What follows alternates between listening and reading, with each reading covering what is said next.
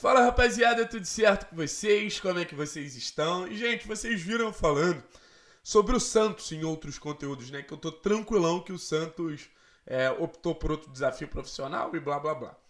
Eu até tô, mano. Confio pra caralho no Bento, mas a possibilidade de ter um representante na Copa do Mundo de 2022 no Catar diminuída com a ausência do Santos, que querendo ou não é um goleiro que passou o radar inteiro da Copa vestindo a camisa do Atlético, agora veste outra camisa, e ele não é mais uma possibilidade de ser um representante do Atlético, me deixou um pouquinho mal, mano, porque eu quero demais que tenha algum jogador do Atlético no Catar, mano. Eu quero demais, demais, demais. Eu, o, o primeiro motivo porque eu quero é só pra acompanhar aqui, mano, fazer live, o caralho, pro meu ego tá tá alimentado. Mas tem algumas questões muito importantes a gente levar em consideração de ter algum representante lá no Catar. Canóbio e Terence aparecem como os mais prováveis. Ah, Thiago, mas se o Coelho jogar pra caramba e fizer 56 gols, ele não pode ser convocado pela Argentina? Pode, pô. Obviamente pode. Mas nas possibilidades mais reais até agora, Canóbio e Terence.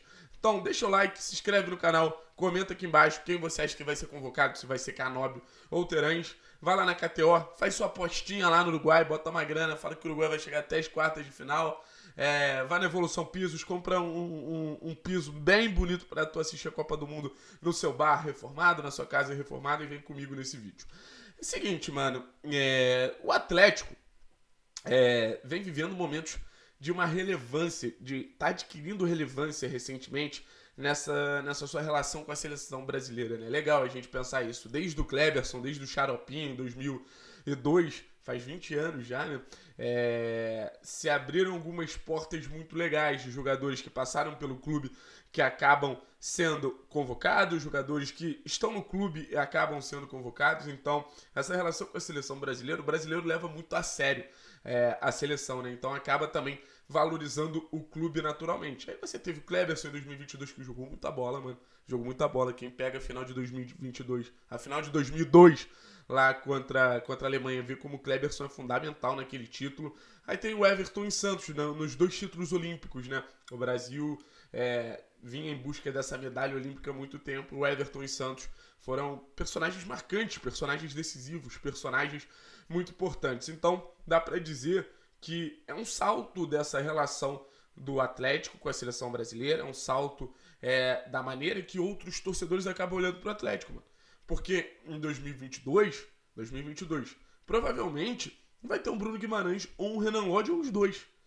E o torcedor, sei lá, do Cruzeiro lembra desses caras com a camisa do Atlético. Então, mano, é, é adquirir respeito, mano. É adquirir respeito, é adquirir moral, tá ligado? Não tem como evitar, pô. A gente vê algumas torcidas aí exaltando que quantidade X de jogadores foi convocado, blá blá blá blá blá blá. Então, porque a gente exalte também os nossos feitos, tá ligado? Então, recentemente, nos últimos três títulos mais relevantes da seleção brasileira, existiam jogadores representantes rubro-negros, representantes no Furacão, tá ligado? Uma pena o Santos não tá não tá mais no Atlético para ser mais uma possibilidade, mas vamos tentar abrir a cabeça. O que isso significa para o Atlético? Não é só a grandeza institucional. Tecnicamente, Canóbio ou Terence, qual dos dois tem mais chance? Eu vejo o Canóbio com mais chance, vou ser sincero. O Canóbio acaba de chegar no Atlético como o melhor jogador do futebol uruguaio. Então, significa que o cenário do futebol do Uruguai, isso envolve a Federação Uruguaia de Futebol, isso envolve a seleção uruguaia, olha para o Canóbio como uma referência técnica, sabe? Se a gente for ver os concorrentes do Canóbio, um Diego Rossi, um Facundo Torres, jogadores mais lados de campo, eles são peças importantes, mas não tem nenhum absoluto assim. Não tem nenhum cara que é incontestável dentro desse cenário da seleção uruguaia. o jovem Facundo Pelistra, que também é cria do Penharol, chegou a ser convocado. Então, chega um cara na melhor fase da carreira dele, chega um cara inteiro fisicamente, e a tendência é ele se manter inteiro ao longo da temporada por toda a capacidade física que ele mostrou. É um cara que vai jogar num contexto mais potencializado do que ele estava, tá ligado? É um cara que vai jogar Libertadores, é um cara que vai jogar num time muito forte, é um cara que vai jogar num Campeonato Brasileiro, cara, que querendo ou não, com todo respeito aos nossos amigos uruguaios, é um campeonato que tem mais visibilidade, visibilidade que o Campeonato Uruguaio, tá ligado? Então esse é um ponto muito importante a ser levado em consideração. Canob deu um salto na carreira, hoje Penharol é Atlético, independente de história.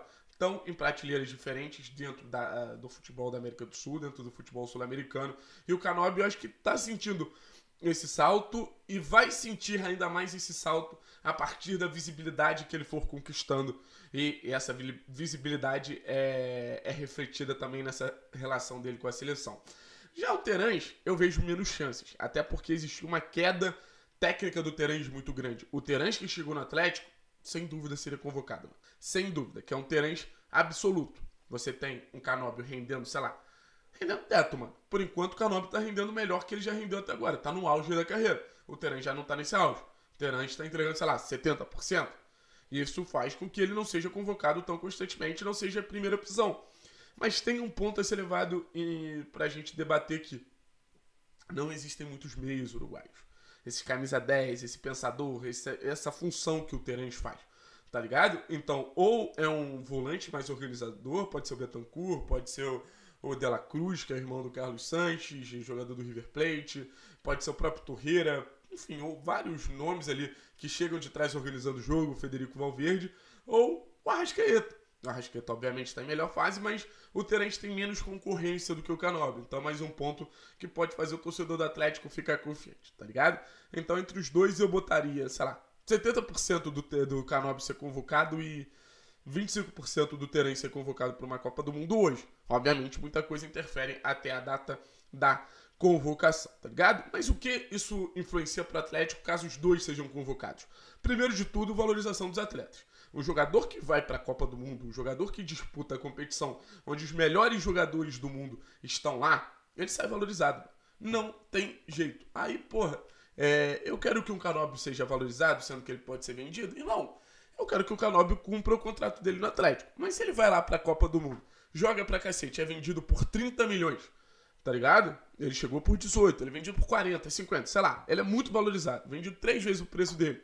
E o Atlético vai lá e compra outra revelação. Pô, eu não vou ficar triste, mano. Eu não vou ficar triste. É assim que é o processo do clube. Até a chegada da SAF, que é uma situação que a gente vai pontuar ao longo desse vídeo também, o próprio presidente Petralha fala. A SAF vai chegar para manter os jogadores, tá ligado? Então, pensa, como o Atlético poderia ter mantido um Bruno Guimarães, como o Atlético poderia ter mantido um Rony, um Renan Lodge, enfim, várias peças. Então, hoje, hoje, no estado atual do projeto Clube Atlético Paranaense, eu não vejo como um problema valorizar atletas. Puta, se for pra Copa do Mundo, se for valorizado, se o Fenerbahçe bater na porta e oferecer, sei lá, 20 milhões, pô, seria incrível, cara. 21 milhões, que seriam três vezes do que o Atlético pagou, para mim seria realmente incrível, tá ligado? Então, essa possibilidade de valorizar atleta é muito relevante. A gente já falou, né?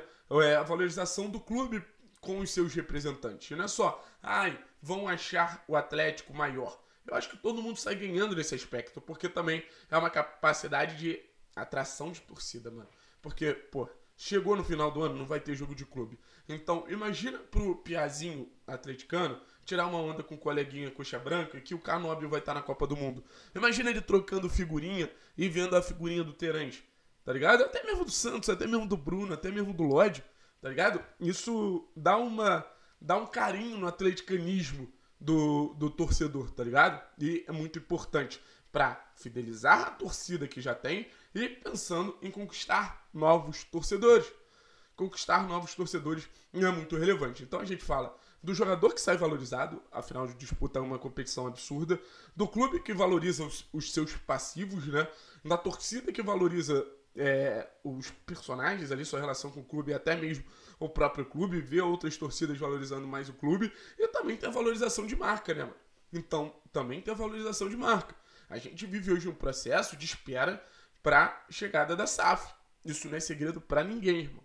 Isso não é segredo para ninguém, tá ligado? Então, a partir do momento da chegada da SAF, a gente vai ver um clube ainda mais forte. Como o presidente Petralha fala, um dos maiores clubes da América Latina. Então, porra, irmão, quem não vai querer que esse processo da SAF veja um Atlético como um caminho não só para o futebol europeu, mas como um caminho para as seleções, tá ligado? Então, puta, eu vou investir nesse clube aqui, porque se eu botar um jogador equatoriano aqui, daqui a pouco esse jogador tá disputando uma Copa do Mundo, daqui a pouco esse jogador tá disputando uma eliminatória. Se eu botar um jogador americano, mexicano, africano, abrir, tá ligado? As, as fronteiras bota o Atlético ainda mais em visibilidade. Então, obviamente, o que importa é os caras jogarem bola no próprio clube, é os caras jogarem bola no Atlético, os caras entregarem, mas sonhando com uma convocação, sonhando com uma Copa do Mundo, é muito importante a gente ter representantes em 2022. E o meu palpite é claramente Agustin Canóbio. Mas é aquilo que eu falei, né? Se o Coelho fizer 56 gols, vai querer convocado para a seleção argentina. Se o Hugo Moura for o melhor volante do Brasil, quem sabe aí ele não vira um reserva do Casimiro. Enfim, tudo pode acontecer, mas se hoje eu pudesse apostar, eu apostaria minhas fichas em Agostinho Canóbio. Valeu, rapaziada! Estamos juntos, é nóis. Muito obrigado pela moral de sempre. Abraços!